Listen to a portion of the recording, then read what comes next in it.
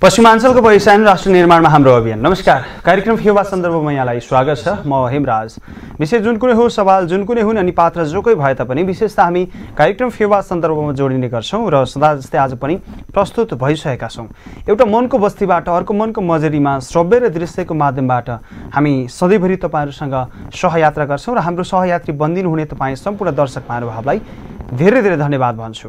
र हाम्रा कार्यक्रमहरू युट्युबमा जानुहोस् र FEWA Fewa TELEVISION SD Fewa television SD search गरेर हेर्न सक्नुहुनेछ र सँगसँगै लाइक कमेन्ट अनि सब्सक्राइब गर्न नभुल्नुहोला दर्शकबिन नेपालमा निकै लामो समय पछाडि स्थानीय तहको निर्वाचन भयो र प्रदेश नम्बर तिन सँगसँगै चार र छमा स्थानीय तहको निर्वाचन हुँदै गर्दाखेरि चौतिसवटा जिल्लामा स्थानीय तहको नेतृत्व प्राप्त भएको छ। हामी यो कार्यक्रममा तपाईँसँग जोडिएका छौँ र तपाईँसँगै तपाईँका सवालहरू सम्बन्धित निकायसम्म पुर्याउने प्रयासका साथ हामी अगाडि बढिरहँदा सबै जित्नेहरूलाई हार्दिक मङ्गलमय शुभकामना। स्थानीय तहको निर्वाचनमा जति पनि जित्नु भएको छ जित्ने सबै सबैलाई हार्दिक मङ्गलमय शुभकामना र हार्नेहरूलाई अब तपाईँको जितको सुरुवात भएको छ। आगामी दिनमा जनप्रिय काम गरेर अगाडि बढ्नुभयो भने जनताको अमूल्य भोट तपाईँले प्राप्त गर्नुहुनेछ र जित्नुहुनेछ। र विशेष कार्यक्रममा आज पनि हामी जोडिनलाई प्रस्तुत भएका छौँ र हाम्रो स्टुडियोमा अतिथि हुनुहुन्छ नेपाली काङ्ग्रेसको तर्फबाट पोखरा लेखनाथ महानगरपालिका वडा नम्बर एघारमा अध्यक्षको उम्मेदवार हुनुहुन्थ्यो। एकतिस गते अगाडि। र मत परिणाम आइसके पछाडि पोखरा लेखनाथ महानगरपालिका नेपालकै सबैभन्दा ठुलो महानगरपालिका हो। पोखरा लेखनाथ महानगरपालिका वडा नम्बर एघारको निर्वाचित अध्यक्ष मोहन प्रसाद बास्तोला मसँग हुनुहुन्छ। नमस्ते। नमस्ते। स्वागत छ यहाँलाई। धन्यवाद। हार्दिक बधाई। धन्यवाद। जनताको घरमा गएर भोट माग्नुभयो जनताले भोट दिनुभयो। अब जनतालाई के दिनुहुन्छ यहाँले? जनताको भोटमा गएर जनताको घरमा गएर जनतासँग भोट मागियो। अब हामीले अहिले स्थानीय निकायमा गएर जनताहरूसँग प्रत्यक्ष रूपमा भेट्दाखेरि उहाँहरूका विभिन्न किसिमका यो अप्ठ्याराहरू चाहिँ हामीले चाहिँ सबै कुराहरू अप्ठ्याराहरू उहाँको हामीले चाहिँ फिलिङ गरेका छौँ।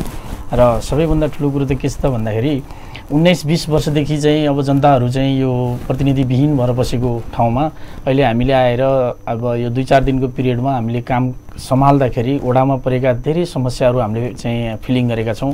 जस्तै सुरुमै हामीलाई कस्तो अनुभव भयो त भन्दाखेरि हामीले जनतालाई जुन चिज दिन्छौँ भनेर हामी भोट माग्न गएका थियौँ आज त्यो चिज जनतालाई हामीले उपलब्ध गराउनको लागि हामी धेरै नै सङ्घर्ष गर्नुपर्ने रहेछ हामी जिरो लेभलबाट सुरु गरेर जनताको माझमा फेरि हामी फर्किनु पर्ने रहेछ र मुख्यतया त अहिले जनताले हामीबाट अपेक्षा गरेका जति पनि कुराहरू छन् ती सबै कुराहरूलाई हामीले समेटेर एउटा समृद्ध खालको वडा बनाउने भनेर जुन हामी कल्पना गरेर हिँडेका थियौँ र विगतमा आएर अहिले सम्झिँदाखेरि उन्नाइस वर्षसम्ममा जनताहरूले पाएको पीडा जनताहरूले पाएको दुःख अहिले मैले यो दुई दिनको पिरियडमा वडामा गएर चाहिँ उहाँहरूका दुःख पीर मर्काहरू बुझ्ने मौका पाएको छु र उहाँहरूको यो दुःख पीर मर्काहरू बुझ्ने मौका पनि पाएको छु र साथसाथै हामीले हाम्रो वडालाई समृद्ध गराउनको लागि के गर्दाखेरि बेटर हुन्छ भन्ने कुराहरू पनि हामी एकअर्कामा बसेर छलफल गरेर हाम्रो ओडालाई चाहिँ अगाडि बढाउने हामी प्रयासमा छौँ। जस्तो मोहन सर तपाईँ अब चुनावी सरगर्मी बढ्दै जाँदाखेरि तत्कालीन समयमा जनताको घर दैलोमा पुग्नुभयो र जनतालाई एउटा खालको आश्वासन र एउटा खालको प्रतिबद्धता जनाएर फर्किनु भएको छ।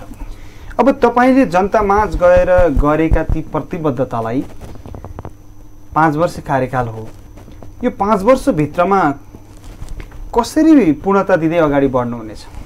हामीले जति पनि मेरो मैले चुनावी माहौलमा जाँदाखेरि एउटा घोषणापत्र तयार गरेको थिएँ र घोषणापत्र अनुरूप नै मैले पाँच वर्षमा चाहिँ हाम्रो वडामा जति पनि घोषणापत्रमा मैले प्रस्तुत गरेका विषयवस्तुहरू छन् ती विषयवस्तुहरूलाई मैले एक एक गरेर समयअनुसार एक एक गरेर ती घोषणापत्रका सम्पूर्ण कुराहरूलाई पाँच वर्षको पिरियडमा कम्प्लिट गर्ने भन्ने मेरो एउटा योजना छ।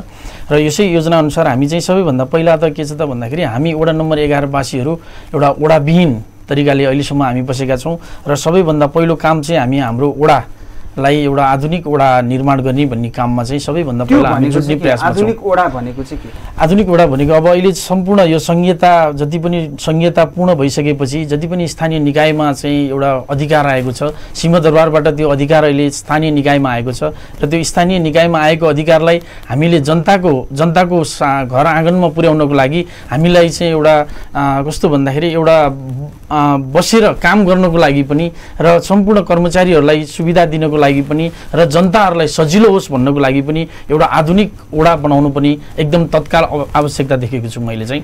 पदभार ग्रहण गरिसके पछाडि पहिलो निर्णय के गर्नु पदभार गरि ग्रहण गरिसकेपछि मैले पहिलो निर्णय चाहिँ हामी वडा नम्बर एघार भनेको कस्तो ठाउँ भन्दाखेरि हामी लेक साइडबाट गाडी लिएर फुलबारीले एघारमा पस्दाखेरि एकदमै अँध्यारो त्यहाँनिरको सार्वजनिक बत्तीहरूदेखि लिएर हरेक कुराहरू त्यहाँ चाहिँ एकदमै पिछडिएको ठाउँ छ। र मैले पहिला सुरु चाहिँ वडा नम्बर एघारभरि नै का बसी बासिन्दाहरूलाई वडा नम्बर एघारभरि नै उज्यालोपन छाउँछु भनेर मैले सोलर बत्तीहरू हाल्ने पहिलो एउटा प्रतिबद्धता चाहिँ मैले जाहेर गरेर पहिलो डिसिजन मैले त्यो गरेको छु। र सँगसँगै के छ भने हाम्रो वडामा महिलाहरू धेरै महिलाहरू चाहिँ अब कस्तो भन्दाखेरि हामीहरूसँग फेस टु फेस गरेर बोल्दाखेरि पनि उहाँहरू हिचकिचाउने अब चुला चौका गरेर बसेका महिलाहरूलाई अगाडि ल्याउनको लागि हामीले सम्पूर्ण आमा समूहहरूलाई एकबद्धता गरेर हामीले एउटा एङ्करिङ तालिम दिएर आगामी दिनहरूमा उनीहरू कम उहाँ महिलाहरू कमसेकम हामीसँग आउँदाखेरि खुलेर बोल्न सक्ने हुनुहोस्। हामी आफ्नो मनमा भएका पिर मर्काहरू हामीलाई बुझाएर बुझाउन सक्ने हुनुहोस् भनेर हामीले एउटा एङ्कर तालिम पनि छिटै नै दिने भन्ने हाम्रो एउटा चाहिँ कार्यक्रम चाहिँ रहेको छ। मोहन सर जस्तो वडा नम्बर एघार भनेपछि फुलबारी मात्रै होइन। अँ। अझै पनि वडा नम्बर एघारमा पनि कर्णाली छ म भन्छु र तपाईँ चुनाव प्रचार प्रसारको हिसाबमा जाँदै गर्दाखेरि पनि हामी महानगरवासी त भयौँ यद्यपि महानगरभित्र पनि एक खालको विकटतम ठाउँहरू छ विकट छ जहाँ अझै कालो पिच भएको बाटो देख्न स्थानीय बासिन्दाले पाएका छैनन्। महानगरवासी त भइयो होइन। ठुलो चुनौतीहरूका बिचमा नेतृत्व लिँदै हुनुहुन्छ। अब वडा नम्बर एघारलाई समृद्ध बनाउने अरू योजना चाहिँ के के छन्? वडा नम्बर एघारलाई समृद्ध बनाउनको लागि सबैभन्दा ठुलो कुरो त अहिले के छ भने हाम्रो वडा नम्बर एघार मर्च भएको वडा हो। पहिला हामी चाहिँ फुलबारी र रानीपा थियौँ भने अहिले हाम्रो साबिकको काउडाँडा एक्काइस पनि अहिले एघारमा मर्च भएको छ। र अघि तपाईँले भनेको जस्तै हाम्रो काउडाँडाको बाटोको अवस्था पानीको अवस्था बिजुलीको अवस्था हेर्ने भने साह्रै नै नाजुक छ। हामीले अहिले मैले मेरो पहिलो दायित्व भनेको जुन एउटा काउडाँडामा यो एउटा ठुलो बजेट चाहिँ परेको छ र त्यो बजेटले हामी आगामी पचहत्तर सालभित्रमा चाहिँ काउडाँडाको सम्पूर्ण त्यो छ किलोमिटर बाटो हामी कालोपत्र गरेर त्यसलाई पहिला सुरु हामी त्यसलाई कम्प्लिट गर्दैछौँ।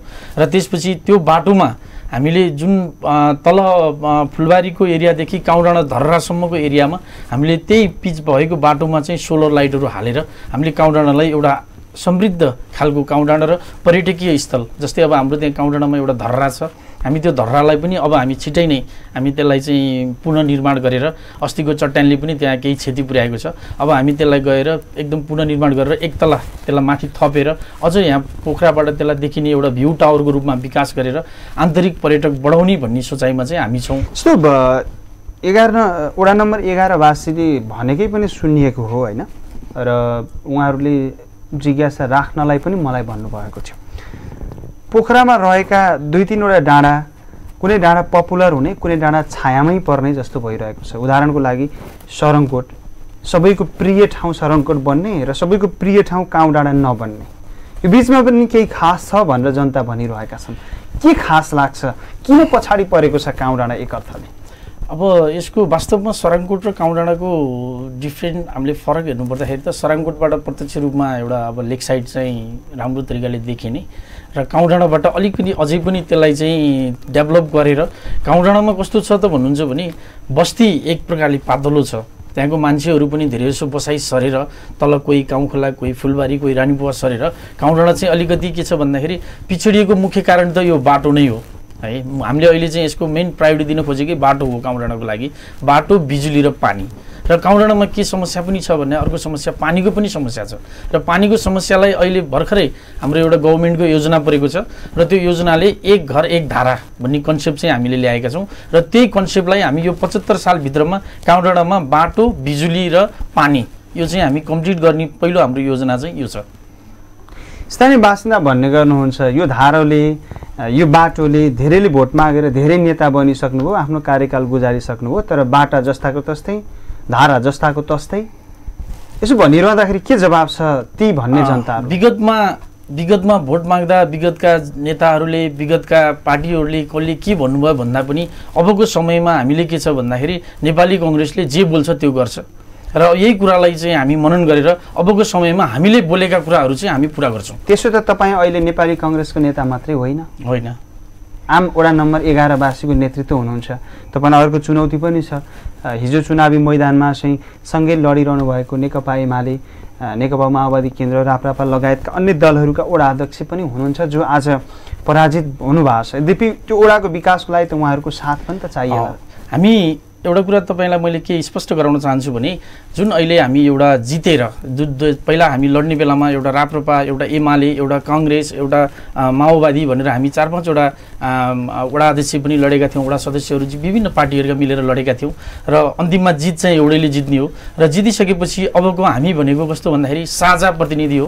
हामी ओडाको साझा प्रतिनिधि हो र मैले मेरा सम्पूर्ण जति पनि मेरा साथीहरू छन् हिजो पराजित भएका साथीहरू र ती सम्पूर्ण साथीहरूलाई साथमा लिएर मैले मेरो ओडाको समृद्धको लागि उनीहरूसँग सल्लाह सुझाव लिएर अब कसरी उहाँहरूको पनि केही प्लानिङ थियो जस्तै मेरो केही प्लानिङ छ भने उहाँहरूको पनि प्लानिङ छ। उहाँहरूको प्लानिङ र मेरो प्लानिङलाई एकै ठाउँमा राखेर हामी के गर्दाखेरि हाम्रो ओडालाई समृद्धि ओडा बनाउन सकिन्छ र आधुनिक ओडा बनाउन सकिन्छ त्यो कुरामा हामी छलफलमा जुटिरहेका छौँ यतिखेर।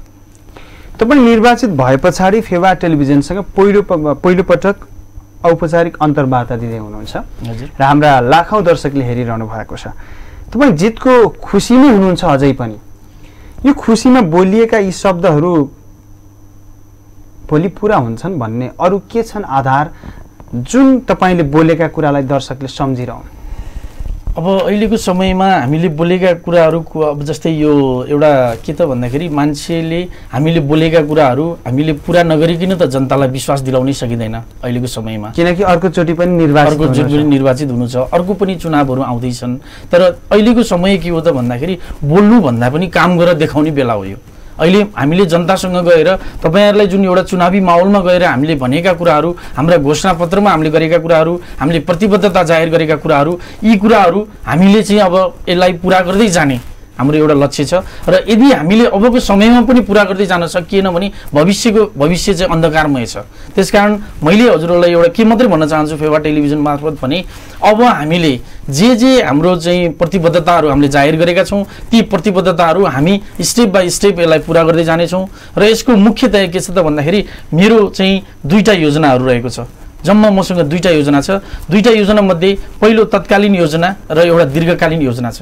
र तत्कालीन योजनामा मैले फुलबारी हाम्रो यो वडा नम्बर एघार वडा नम्बर एघारमा जति पनि बाटाघाटाहरू छन् जति पनि पिछडिएका ठाउँहरू छन् र जति पनि जनताहरू चाहिँ हाम्रो जनताहरू जति पनि सुशिक्षित भएका छैनन् ती सम्पूर्णहरूलाई मैले एकजुट बनाएर र छिटै नै मैले एउटा चाहिँ फुलबारीलाई अँध्यारो रहेको फुलबारीलाई मैले उज्यालो बनाउने एउटा मेरो तत्कालीन एउटा योजना छ भने दीर्घकालीन योजनाहरूमा मैले जस्तै एउटा अब काउँ डाँडामा धर्राको कुरा मैले अघि नै हजुरहरूलाई भनिसकेँ। त्यस्तै पानीको कुराहरू अनि बाटोको कुराहरू। अहिले हाम्रो के छ भने पश्चिमाञ्चल क्षेत्रीय अस्पतालदेखि मणिपाल अस्पतालसम्म पुग्ने बेलामा पनि ती बाटाहरू चाहिँ पक्की हुन सकेका छैनन्। अब हामीले पहिलो हाम्रो दायित्व भनेका एउटा हस्पिटलबाट अर्को हस्पिटल जोड्ने बाटोलाई हामी तत्कालीन रूपमा त्यसलाई चाहिँ हामी कालोपत्रे गरेर दुवैतिर नालासहित हामी कालोपत्रे गरेर ती कुराहरूलाई हामी चाँडै नै पुरा गर्नेछौँ भन्ने हामीलाई चाहिँ लागेको छ। जस्तो मोहन सर यहाँले दीर्घकालीन तत्कालीन र दीर्घकालीन दुईवटा योजना भनिरहँदाखेरि त्यसको लागि त बजेट नै आवश्यक पर्छ। होइन? र महानगरपालिकाले छुट्याएको बजेट वा सरकारले छुट्याएको बजेटले मात्रै त्यो कार्यहरू पुरा हुनको लागि फेरि हात्ती आयो हात्ती आयो फुस्सा नै होला होइन?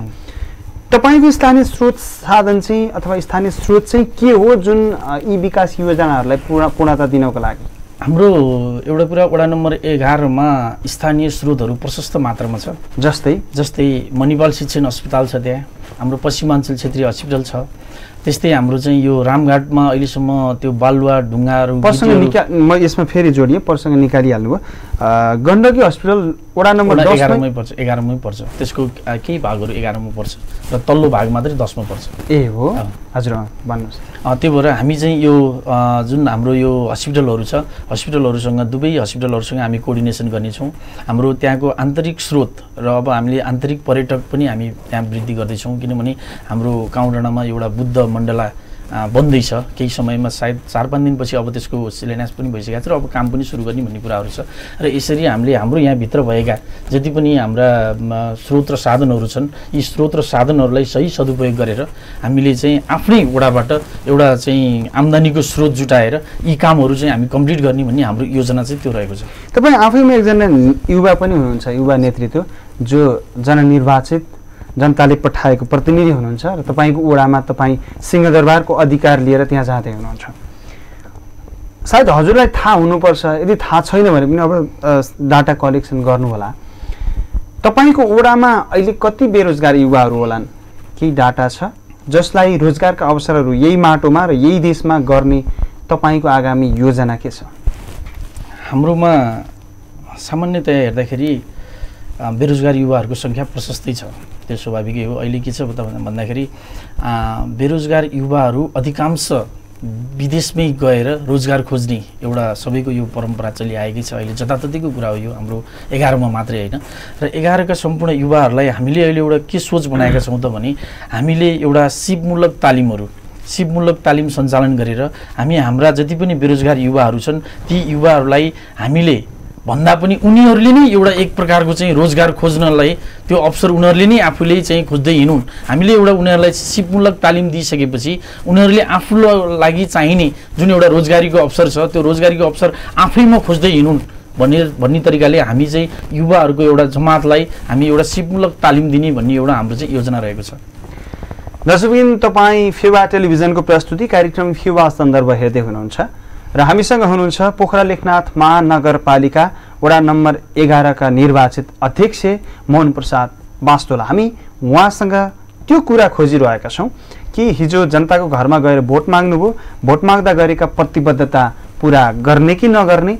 र अब आगामी पाँच वर्षभित्रमा आफ्नो ओडालाई उहाँले बनाउनुहुन्छ चाहिँ के? किनभने सपना देखेरै पुरा हुन्छ। सपना देख्नै पर्छ र सपना देखे पछाडि पछाडि मात्रै पुरा हुन्छ। सपना दुईटा हुन्छन्। एउटा साँच्चीकै बनाउँछु भनेर देखिएको सपना एउटा भ्रम छर्नलाई देखाइएको सपना। त्यस अर्थले गर्दा हामी उहाँ निर्वाचित भए पछाडिको पहिलो अन्तर्वार्ता फेवा टेलिभिजनसँग हामी बुझ्न खोजिरहेका छौँ। मोहन सर जस्तो धेरै समस्याहरूका बिचमा तपाईँले जिम्मेवारी त लिइरहनु भएको छ संसार बदल्नु छ सुरुवात आफैबाट गर्ने हो। अब मलाई भनिदिनुहोस् न तपाईँको ओडालाई व्यवस्थापित चाहिँ ओडालाई व्यवस्थापकीय हिसाबबाट चाहिँ राम्रो बनाउनलाई के गर्नुहुन्छ? ओडा त्यहीँ रहेर त्यस्तै अवस्थामा भएर चल्ला जनताहरूलाई सेवा दिन सकिएला? मैले अब हजुरलाई एउटा यो फेवा टेलिभिजन मार्फत एउटा कुरा के मात्रै जानकारी गराउन चाहेँ भने हामी अहिले वडा विहीन अवस्थामा छौँ। हामी एउटा छेरोको एउटा कोठामा बसेर हामी वडा कार्यालय सञ्चालन गरिरहेका छौँ।